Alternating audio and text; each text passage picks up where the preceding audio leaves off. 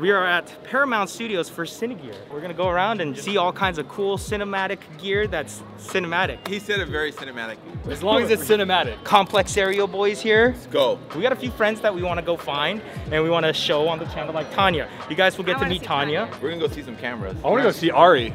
I'm trying to get a free camera. I'm pretty sure that's how to it works. Who do you want to find? Some food. Okay, I think we're close to Sony. I could smell it. What does it smell like? Like fresh cameras out of a box. Lucas from Kondor Blue. I don't know. Have you ever been in an episode? I don't think so. I'm not that special. My Kondor first Blue. episode. Yeah. Stay tuned for the next one. what you got going on there? Uh, just walking around, dude. We found it.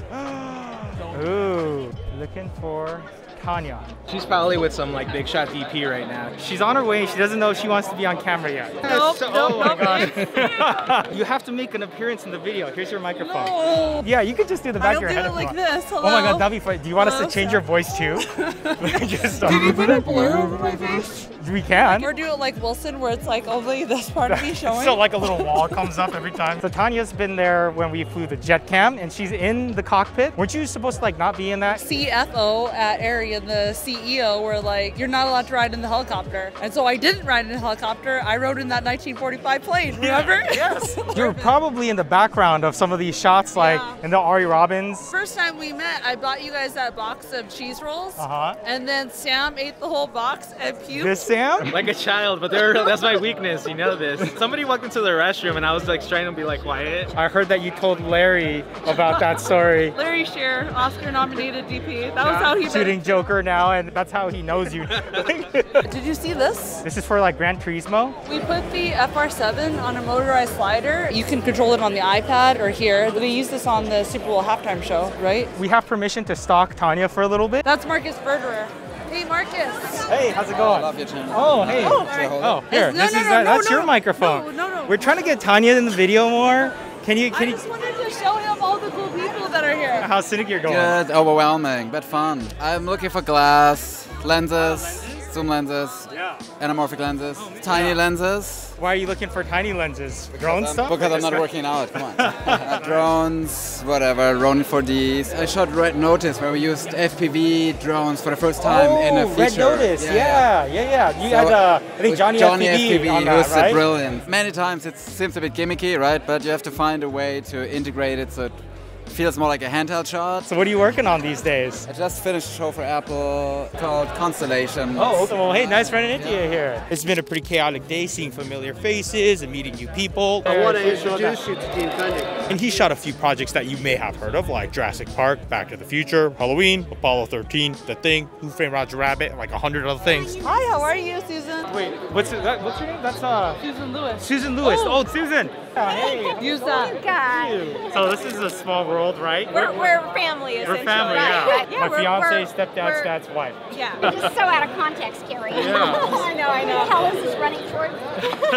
Who are the brands we must see? There's new Steadicam, my Ah, client, okay. right up here. Uh-huh. There, have you seen this thing right here? This tall thing here? That's called the Air Climber. That's Matthew's right here. Tanya walks fast, so we got to keep up. Where are we going now? We're going outside the Sherry Lansing Theater because we need to go and meet Tommy Maddox Upshaw. He did Snowfall, The Man Who Fell to Earth. He just did White Man Can't Jump. Have you had a chance to walk around Cinegear and check some gear out? And Yeah, I mean, it's different lights and there's different like lenses that I'm checking out for my next possible projects. There's like this thing with this variable diffusion that there's like a diffusion frame that Yeah. Density by a turn of a dial. is it like a four x four It's or a like? four by four and a two by three variable diffusion that oh, is Oh, okay. actually quite nice. So then you can look at the light, see what it's doing, and then crank it in to be thicker, so it'll be softer, harder. What kind of grades can you go through? Like, is, It's like from opal to like 216. Oh, like wow. it's super thin Huh. all the way to like really thick. But you just watch the density of it change. Does it change the weight of the flag and everything? Not at all. Really? Super It's light. light? Yeah, super Man. lightweight. And then there's also this thing on this uh, big 18K that's on a remote head, a new remote head called the Vulcan. Oh, for the lighting remote heads. Yeah, lighting oh, remote okay. heads. That that much weight on a remote head is kind of unheard of for a while. Do you shoot White Man Can't Jump on Venice 2? So we shot a little bit on Venice 2 and then we shot on Venice 1. So I shoot both cameras Ah, quite seamlessly back and forth and it's a fun movie, everything Venice. So it's color space, dark skin with light skin, they're kind of seamless. You don't have to do anything different because the dynamic range is so great. Yeah, you have all the ranges, so you don't have to like necessarily adjust lighting or anything. No, no, no, that, because yeah. there's enough latitude and enough color space Yeah. to handle in highlights and lowlights of it all. Have you ever intercut FX3 stuff into your projects? Not yet, or- but I think we're going to go after it and try to use it on, you know, my next project. To see what happens in terms of can I use that as a third or fourth insert camera or crash camera, or something like that. White Man Can't Jump. There's some FPV in there, right? Yeah, yeah. Lightcraft was our guy, was our vendor yeah. of choice. They're dope. We actually flew the, the Venice 2. With the, yeah, we flew Oh, Venice. you guys flew a Venice too. Dang, that's Yeah. a heavy camera for a, a Yeah, the big ass FPV. quad, yeah. Yeah. You guys got all your drones up here.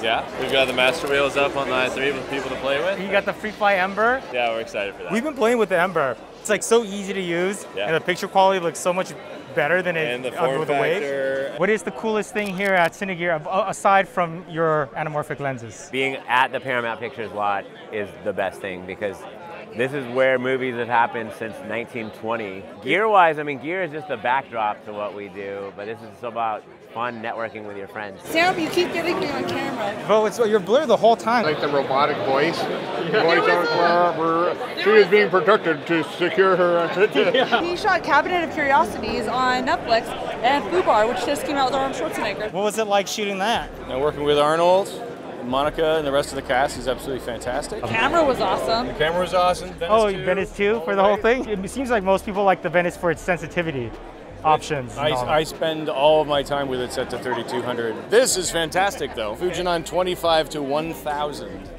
Just a whole new category of lens. Starts at 2.8, it'll hold f2.8 to 465 mil, and at 1000 mil it's f5. Oh, geez, so it's like a one and done lens kind of. Yeah, it's not lightweight, but it's it's one and done. Is there like a doubler in there or anything? Or? So there there is a 1.5 times expander, so you can actually get out to 1500. Good to see ya. Good seeing you too. Want to make a cameo in a video? what are you checking out here at Cinegear? I just saw that Lumenarc, the diffusion frame. Oh yeah, that's what everyone's talking about. It's that. really cool. You, you shot some true crime thing, right? I, I've, I've done a lot of true crimes. I'm into true crime right now, so what's well, there's give me one. some recommendations. There's one coming out. It's about Gypsy Rose. It's gonna be like a six-part documentary that is gonna come out anytime now. Oh, okay. Where can we see it? It's on Oxygen. Oxygen. Yeah. Okay. These guys are my buddies. Complex Aerials. This is You're the girlfriend, right? Fiance now. Yeah. Fiance. Wow. Look at you. Yeah, I know. I'm all grown up now, a big boy. Stuff that I've been seeing like people doing with FPV is like you can do pretty much everything. Yeah. It's You can do so crazy. much. Do you know about ShotDeck? Yeah, when they started, I uh-huh. that I was like one of the first ones. Yeah. Well, do you know Larry? The owner. Hey, nice to meet you. Big fan of ShotDeck. Josh. nice to meet you. Sammy. Sammy, Big nice to fan meet and a you. member of ShotDeck. Oh, well. good. Yes. Yeah. From from day one. You just wrapped up. I uh, just can wrapped, we talk about I it? did. or- I just wrapped up a new Joker film. Yeah, Excited so for we that? just finished that. I'm very excited for people to see it. Oh man, yeah. Still under wraps, but it's got Lady Gaga. For those who don't know about ShotDeck, like how do you describe it? I- It's like a huge catalog. Of, Over 600,000 images. By the end of the year, it'll be a million images that basically catalog the most important shots, the most referential shots from movies, television, very soon music videos. And it's there for reference, for research, for inspiration, for education. It's just basically a starting place to one, help you more effectively express your vision, but also just discover new movies, discover new imagery, get inspired, and just like to help the whole creative process be more efficient and more effective. Now I use ShotDeck because the communication I have with the director or with the producer, we can get inspired by seeing this frame, and now we can create ours. You know, looking at this, and it's much faster I'm because just gonna pay you. You're saying everything. Give this guy a hat, a free membership, all the things. But that's exactly it. I mean, by the way, people think, oh, it's just for pitch decks. It's like I don't even use it for pitch decks. I use it for those conversations with the director because sometimes what I do is I go, I create a deck. I send it to them and I say, just tell me which shots are interesting to you because sometimes even a director who has visual language like knowledge, still the best way to communicate it is like you go, I just like that shot. Why do I like that shot? What is it? And then you go, well, that gives us so much information to go off of, like which direction. Oh, they they like shots with a lot of headroom. Great. If I do that, they're not going to be like, what's with the headroom? One of the best ways to kind of select some looks out of lenses and whatnot. this is anamorphic and Yeah. how to explain anamorphic Yeah. to like one of your collaborators or Yeah. or I use it for production designers to say, "Oh, I love that lamp," or "I like those blinds," or "I like those shears," or it might be a prop master and we just look at a bunch of examples of lighters or a, a costume designer, or, or I've used it for makeup artists. It's almost like a Pinterest for cinematography. huh? Yeah, exactly. I use it in post. I take it to the lab at the end when we do the DI, and I'm like, this is the cyan I'm looking for. This Yeah. is the sodium vapor look, whatever that might be. So Yeah, from the sure. pitch to post, all the way through. This is Rod Bogart, color science genius. I look like I'm on camera for something. You are. Okay. just- I'm just introducing him to celebrities. Oh, okay. The reason I'm a celebrity is I'm a color scientist, and my initials are RGB. Oh, and so oh, that's actually so, amazing. So that is the most amazing part of that. Beyond that, I'm just kind of a regular guy. Carrie, you guys know what this is? You know the Truman Show? Yeah. Where he was like in the ocean and like runs into the wall? Like this Oh, is the that's set for that. This, they fill this up with water. Oh, that's so cool. Ah, how you doing? The mythical beard is here. Okay, so one thing I really liked was the Kino Flo Mimik. It's like a light panel, like a big panel, Uh-huh. but it's super high density. Now you've got a video display that's almost full video, but I can now do image-based lighting. So I can put those all around the set, and then Unreal Engine can drive the whole thing. But now I'm lighting the set with higher quality light. Okay, so Super we have cool. to check out Kino Flo. Yeah, I mean they like were out of the game. Yeah, and I- then just this year, you Huh. everyone's like, "Whoa, that's pretty cool." Yeah, because they were a little behind. They're a little bit Little slow on the game on like Yeah. the LED stuff. You know what's the other good stuff? The Nisi Athena lenses. So they're like a baby signature prime. Matched weight, matched size, 300 degree rotation, back mount filters, full frame. But you guys are B unit and you're not flying a signature on an FPV. I did. Oh, okay. yeah. you flew in a signature prime. Yeah, I, I flew a 35. Oh God. You flew the Lexus How did- 35? I, I can't tell you what movie, but But with a signature prime on uh, it? yeah, I have a picture. Dude, if you crashed that, that would have been like 150 grand. Camera department was so freaked out. Yes. Yeah, no They're- I'm freaked out right now. They're like, Sammy, we're gonna give you this 35, and um, just be helpful. Dude, I get got this. super stressed out if I'm flying something that's 10 grand. How's it going? Yeah, I mean, hey, we- Gene. we nice- have This one? No, I got Mr. Canon over here. Look at that. What's up, man? What's up? How's it going, man? Hey, say, this is the new like pocket Yeah. camera, right? Hey, what's up, guys? I wonder how robust it is. Like, is that an action cam Oh, too? let's try it. it does feel good in the hand. What size sensor is this? Like uh, one inch? If I record something, can you send this to me? Yeah, yeah. Okay, cool. So this is the quality out of the PowerShot V10. How's it look? Does it look amazing? How are we feeling? Oh, you got Yeah, a kickstand built in, or is this a cage thing? No, it's a kickstand built Ah. into it. And then right now, SmallRig makes a cage for it, but Tilta's gonna make one. Turns out they're already closing up. Definitely more things that I wanted to check out. Uh, but I guess we could check out like the booths as they're closing up. You could see them breaking down the Kino Flo Mimik. I'm the worst event coverage guy ever. Dan, what's up? All right, this is Alessandro. What'd you call me? You said I was a definition of what? Oh, man-child. You're getting the last demo of the day. I feel like the guy that like walks in like five minutes before the restaurant closes and all the servers are like, if you've been a gimbal operator with like the Movi Pros or the Ronin 2s, you probably already know of Ready Rig. And this is the crazy man behind it all. Crazy man child. Man behind it all. child. Yeah, Yes, I gotta correct you. correction. Carrie, I'm sorry. Carrie's always right, okay? That is true. That, that is facts. Hun- facts. Ready Rig's been around forever. For a When did you guys time. start? Well, so my dad is, is like an amazing cinematographer. Some of the shows he's done, Baywatch, Miami Vice, he actually got shot in the leg on Miami Vice and finished the whole seven days directing a TV show with a bullet in his leg. Yeah, From one of the, dude, one of the that's blanks of the gun. It's a crazy story. We'll have to tell that story one day. This is the crossbar that you've been working on. Yeah, yeah. What we got here is got a Komodo. I'm just gonna go in, snap in. Whoa, hey, that's a new connection. Oh, I'm actually liking how you set up a handle on the back. Bigger lever arm, right? So if the closer it is, the more rotation. Any little input you do is gonna input. The further you go, that radius is larger. I could also do better tilting. And I also could do roll because I'm directly in the center. What we're doing with our system is this now is like completely as if gravity doesn't exist. Can you bring it down and leave it down there? Yeah, look.